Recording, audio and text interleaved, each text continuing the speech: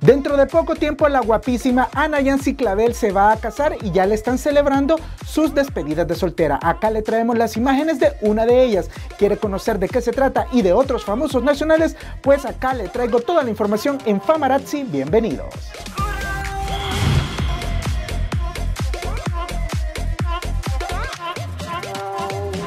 Iniciamos con la celebración de los 39 años de la guapísima Luciana Sandoval.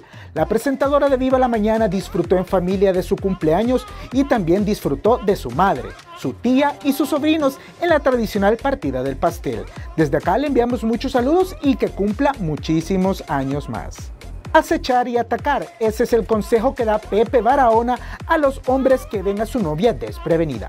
En estas fotos lo puso en práctica. Vemos cómo el chelito se derrite de amor por su querida Irene Castillo y la sorprende de la espalda. El presentador Roberto Acosta se dio una escapadita a Guatemala a uno de sus tantos parques acuáticos y demostró que tiene el valor de lanzarse por un tobogán a toda velocidad.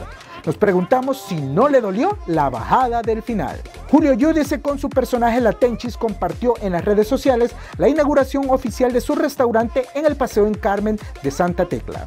Los asistentes disfrutaron de la atención de Tenchis y sus ocurrencias y por supuesto se tomaron fotos con este inconfundible personaje de la comedia salvadoreña.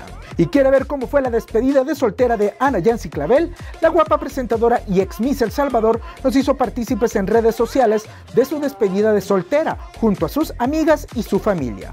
Un momento especial donde vemos que ella lució bellísima con un look fresco y al natural. Felicidades pues a la novia.